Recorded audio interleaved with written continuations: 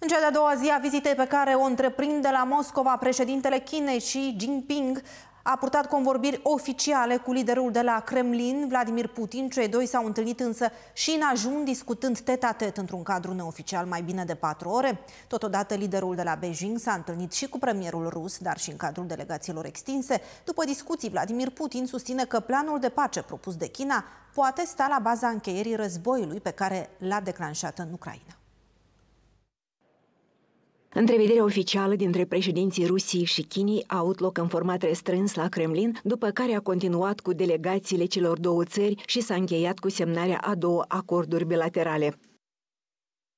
Este vorba despre o declarație comună a Federației Ruse și a Chinei privind aprofundarea relațiilor de parteneriat și cooperare strategică, ce intră într-o ieră nouă, potrivit presiei ruse. A doua declarație comună se referă la planul de dezvoltare pentru domeniile cheie ale cooperării economice ruso-chineze, valabilă până în 2030. După discuțiile în format extins, care s-au ținut cu ușile închise, cei doi lideri au făcut o declarație comună pentru presă, în cadrul căreia Vladimir Putin a anunțat că planul chinez de pace pentru Ucraina poate deveni bază baza unui acord. Credem că multe puncte ale planului de pace al Chinei sunt sincronizate cu abordările rusești și ar putea constitui o bază pentru reglementarea pașnică, atunci când Occidentul și Kievul vor fi pregătite pentru asta. Cu toate acestea, însă, nu vedem o astfel de pregătire din partea lor. Мы не наблюдаем. Xi Jinping a declarat la rândul său că guvernul de la Beijing este în favoarea unei reconcilieri active și mereu pentru pace și dialog.